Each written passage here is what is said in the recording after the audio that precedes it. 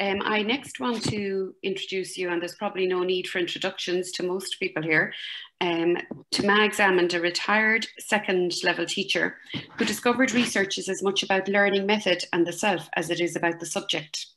And at times felt that there was an entanglement of all three. Um, and Mags is going to tell us her story using images, which was one of the calls that we did. And I think she was a very enthusiastic recipient for that particular call. Mags, um, if I hand over to you, it's entitled It Takes All Kinds of Lemons, a photo journal story of research using images.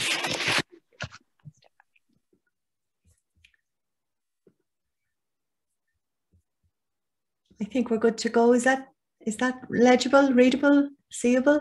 Yes. Perfect. Oh, great. So look, it's it's not really about the story of the research so much as the story of how I keep saying. I loved listening to Vivian there talking about, you know, lurching along from one stage to another. And as I do that, I tend to use, you know, clasp onto an image and use it as a metaphor for where I am, where I'm going, sort of a promise to myself that maybe I will, you know, eat that elephant eventually, chunk by chunk. So I have my my pink lemonade um, ready, Mary, and I have my storybook, um, Catherine.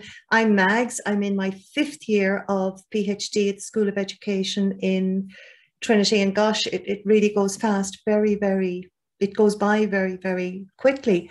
And my first image, I, have been holding on to this and I'm still holding on to it. It's still working in, in, in my research, is one that caught my attention. It stopped me in my tracks dead in the University of Limerick in 2017. I was doing a summer statistics course. And um, thank you, Paul Conway, for that.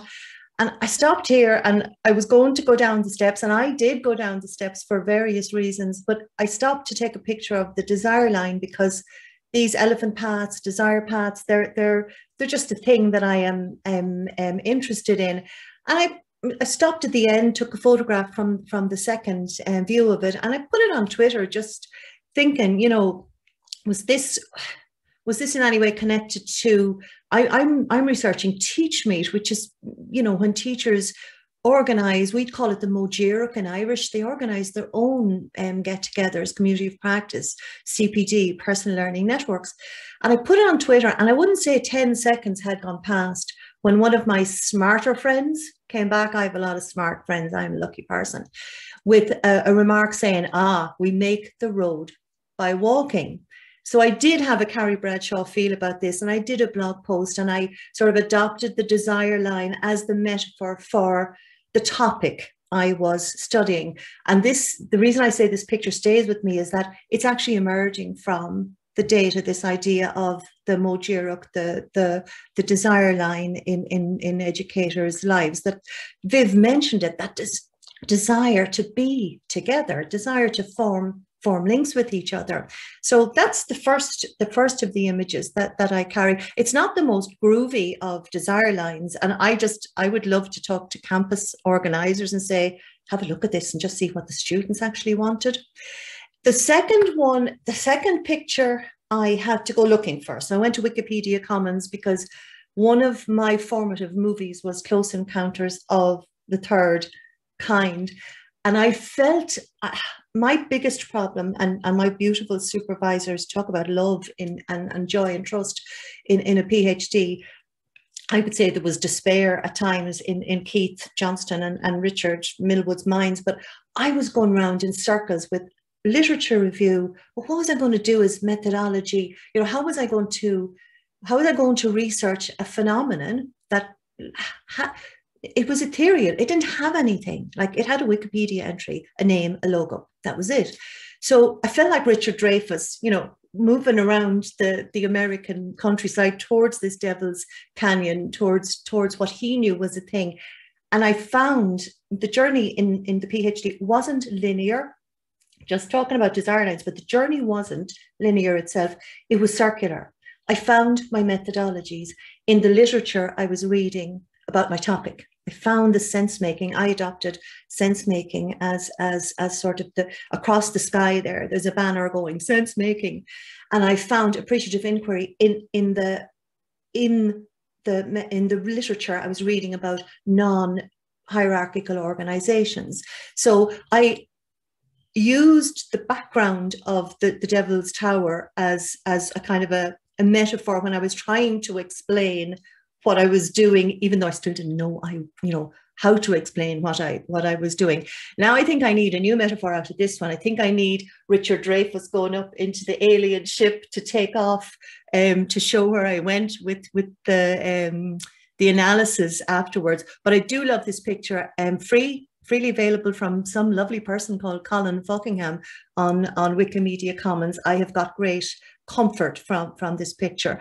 And I did go back and look at the movie again, and it is as good as it ever was. So I'm, I'm really pleased with that mental model that sustained me through, through the desert.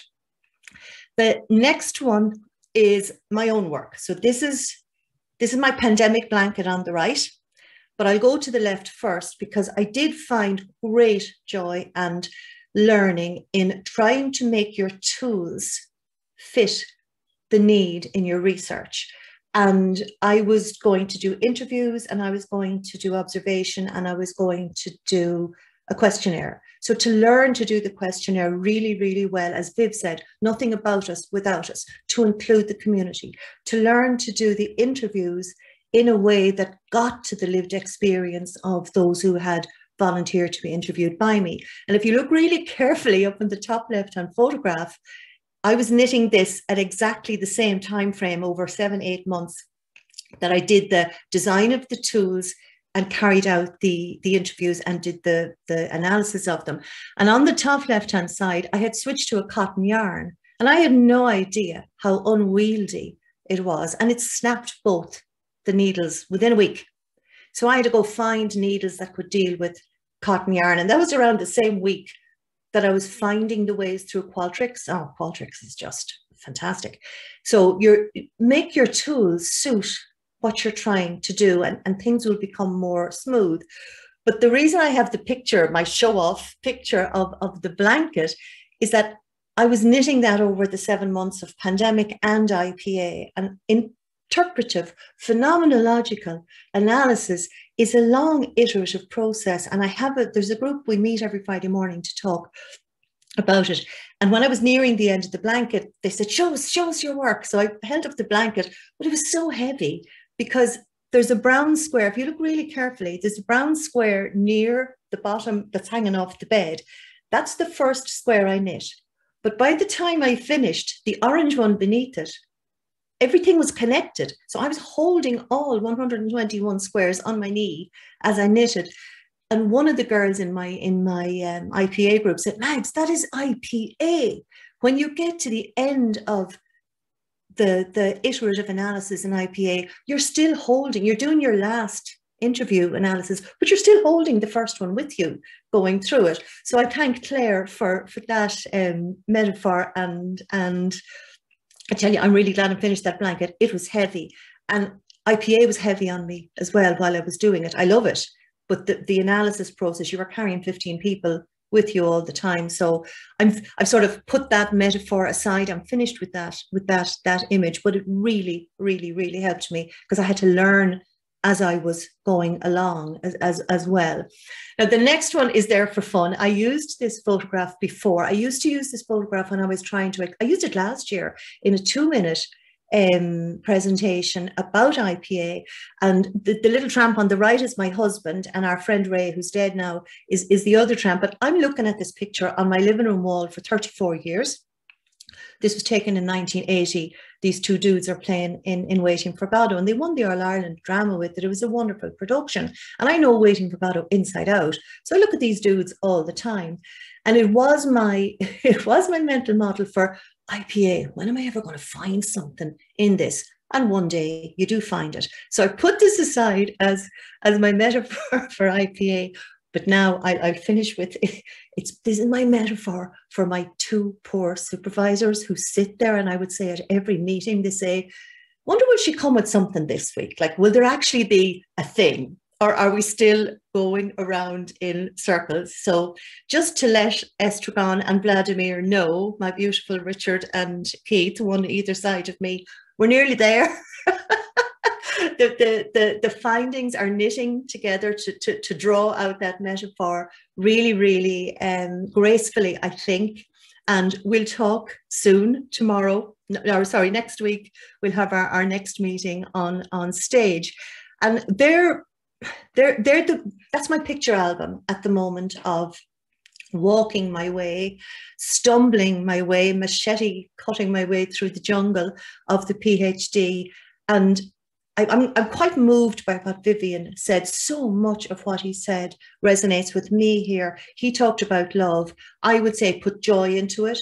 I was working with a community, you know, who loved what they were doing, a volunteer community. Just, I, you know, I'm part of it. It's it's it's a, an informal network, and I would say joy is one of the, the key um, things that, that we find in it. But mostly the, the thing that goes through all of this for me is trust. Find your supervisors, you know, work with them and communicate as, as well as you can. But, you know, trust, tr- if, if you trust each other, you know, as a t- two sides of the one coin, the, the researcher learns to trust themselves like that's what's happened to me as an elder lemon type of researcher. So I'm kind of curious to know what everybody else's pictures are, but for now, they're mine. Thank you, Mary. Wow, thank you, Mags. Wonderful. Um, lovely images there.